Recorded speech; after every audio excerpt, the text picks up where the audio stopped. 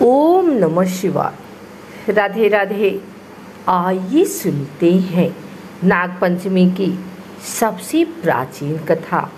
जब नागदेव बने भाई। प्राचीन काल में एक सेठ जी के सात पुत्र थे। सातों के विवाह हो चुके थे। सबसे छोटे पुत्र की पत्नी, श्रेष्ठ चरित्र की विदुषी और सुशील थी। परंतु उसका भाई नहीं था। एक दिन बड़ी बहू ने घर लिपने को पीली मिट्टी लाने के लिए सभी बहुओं को साथ चलने को कहा तो सभी डलिया और खुरपी लेकर मिट्टी खोदने लगे। तभी वहाँ एक सर्प निकला, जिसे बड़ी बहू खुरपी से मारने लगी। यह देखकर छोटी बहू ने उसे रोकते हुए कहा मत मारो इसे। यह बेचारा निरपराध है। यह सुनकर बड़ी बहू ने उसे नहीं मारा। तब सर एक ओर जा बैठा।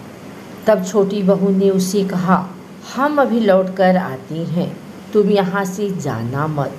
यह कहकर वह सबके साथ मिट्टी लेकर घर चली गई और वहाँ कामकाज में फंसकर सर्प से जो वादा किया था उसे भूल गई। दूसरे दिन वह बात याद आई तो सबको साथ लेकर वहाँ पहुँची और सर्प को उस स्थान पर बैठा देखकर बोली, सर्प भैया, नमस्कार। सर्प ने कहा, तू भैया कह चुकी है, इसलिए तुझे छोड़ देता हूँ। नहीं तो झूठी बात कहने के कारण तुझे अभी डस लेता। वह बोली, भैया मुझसे भूल हो गई। उसकी क्षमा मांगती हूँ। तब सर बोला अच्छा तू आज से मेरी बहन हुई और मैं तेरा भाई हुआ।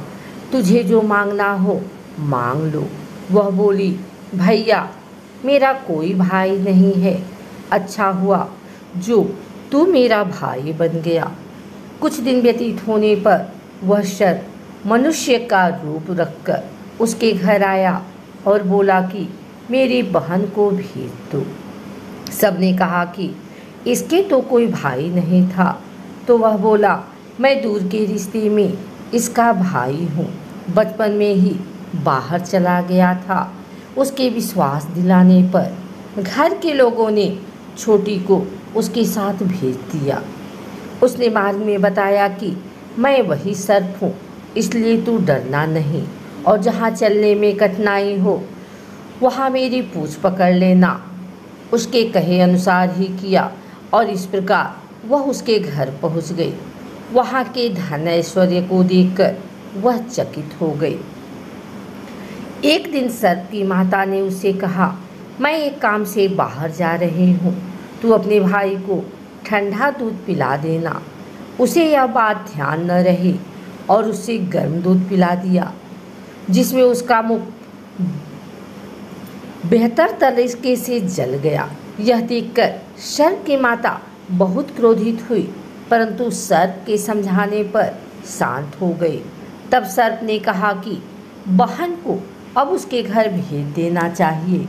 तब सर्प और उसके पिता ने उसे बहुत सा सोना, चांदी, जवाहरात वस्त्र आभूषण आदि देकर उसके घर पहुँचा दिया।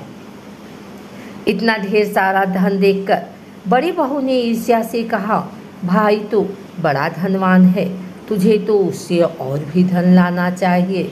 सर्प ने यह वचन सुना तो सब वस्तुएँ सोने की ला कर दे दी। यह देखकर बड़ी बहू ने कहा, इन्हें झाड़ने की झाड़ू भी सोने की होनी चाहिए।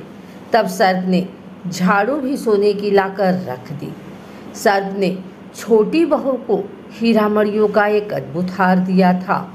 उसकी प्रशंसा उस देश की रानी ने भी सुनी और वह राजा से बोली कि, सेठ की छोटी बहू का हार यहाँ आना चाहिए। राजा ने मंत्री को हुक्म दिया कि उससे वह हार लेकर शीघ्र ही उपस्थित हो। मंत्री ने सेठ जी से जाकर कहा कि, महारानी जी, छोटी बहू का हार पहनेंगी। वह उससे लेकर मुझे दे दो। सेठ जी ने डर के कारण छोटी बहू से हार मंगाकर दे दिया। छोटी बहू को यह बात बहुत बुरी लगी। उसने अपने सर भाई को याद किया और आने पर प्रार्थना किया, भैया, रानी ने हार छीन दिया है। तुम कुछ ऐसा करो कि जब वह हार उसके गले में रहे, तब तक के लिए सर्प बन जाए और जब वह मुझे लौटा दे, तब हीरो और मड़ियों का हो जाए। सर्प ने ठीक वैसा ही किया। जैसे ही रानी ने हार पहना, वैसे ही वह सर्प का बन गया। यह देखकर रानी चीख पड़ी और रोने लगी। यह देखकर राजा ने सेठ के पास खबर भेजी कि छोटी बहू को तुरंत भेजो।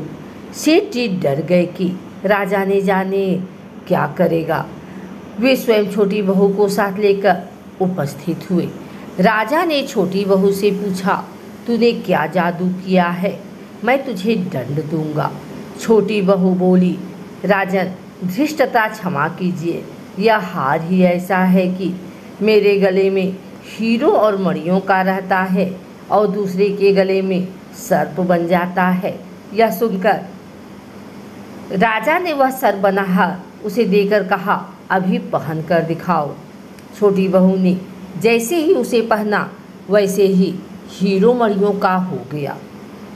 यह देखकर राजा को उसकी बात का विश्वास हो गया और उसने प्रसन्न होकर उसे बहुत सी मुद्राएँ, पुरस्कार में दी। छोटी, वह अपने हार और इन सहित घर लौट आई। उसके धन को देखकर बड़ी बहू ने ईर्ष्या के कारण उसके पति को सिखाया कि छोटी बहू के पास कहीं से धन आया है। यह सुनकर उसके पति ने अपनी पत्नी को बुलाकर कहा, ठीक ठीक, बता कि यह धन तुझे कौन देता है? तब वह सर्प को याद करने लगी। तभी उसी समय सर्प ने प्रकट होकर कहा, यदि मेरी धर्म बहन के आचरण पर संदेह प्रकट करेगा तो मैं उसे खा लूँगा। यह सुनकर छोटी बहू का पति बहुत प्रसन्न हुआ और उसने सर्प देवता का बड़ा सत्कार किया। उसी दिन से नागपंचमी का त्यौहार मनाया जाता है और स्त्रियाँ सर्प को भाई मानकर उसकी पूजा करती हैं। अगर आपको हमारी वीडियो अच्छी लगी हो तो इसे लाइक करें, कमेंट करें, शेयर करें, हमारे चैनल को सब्सक्राइब करके बेल नोटिफिकेशन ऑल पर सेट कर दें ताकि आगे आने वाली वीडियो सबसे पहले आप तक पहुँच सके। धन्यवाद।